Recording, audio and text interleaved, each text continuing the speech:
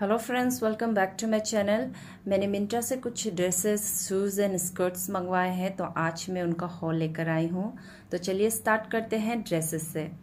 जो पहला ड्रेस है, ये मागरे ब्रांड का है। इसकी फैब्रिक पॉलिस्टर है और ये एक शीट ड्रेस है। इसकी मटेरियल की क्वालिटी बहुत ही अच्छी और स्ट्रांग है। बट इसका मटेरियल की वजह से ये ड्रेस थोड़ा सा हैवी है। मैंने जब इसे लिया था, मुझे ये पड़ा था मोर देन टू थाउज़ेंड में। बट इसका ओरिजिनल प्राइस है मोर देन थ्री थाउज़ेंड जो दूसरा ड्रेस है, ये डोडो एंड मोआ ब्रांड का है। ये एक टायर ड्रेस है और इसकी फैब्रिक पॉलिस्टर है। अगर आप ये ड्रेस मंगवाना चाहते हैं तो मैं आपको सजेस्ट करूँगी कि आपका जो साइज़ है, आप उससे एक बड़ा ही मंगवाइएगा। थर्ड ड्रेस है, ये ससाफ्रस ब्रांड का है।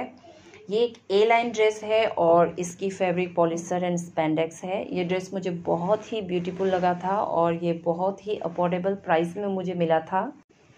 ये एक रैप ड्रेस है, इसकी फैब्रिक है पॉलिस्टर इसका ब्रांड का नाम है बेरिलस और ये ड्रेस मुझे बहुत ही क्यूट लगा। ये स्कर्ट लोला एंड स्काई ब्रांड का है। इसकी फैब्रिक पॉलिस्टर एंड इलास्टन है और ये एक स्ट्रेचेबल स्कर्ट है।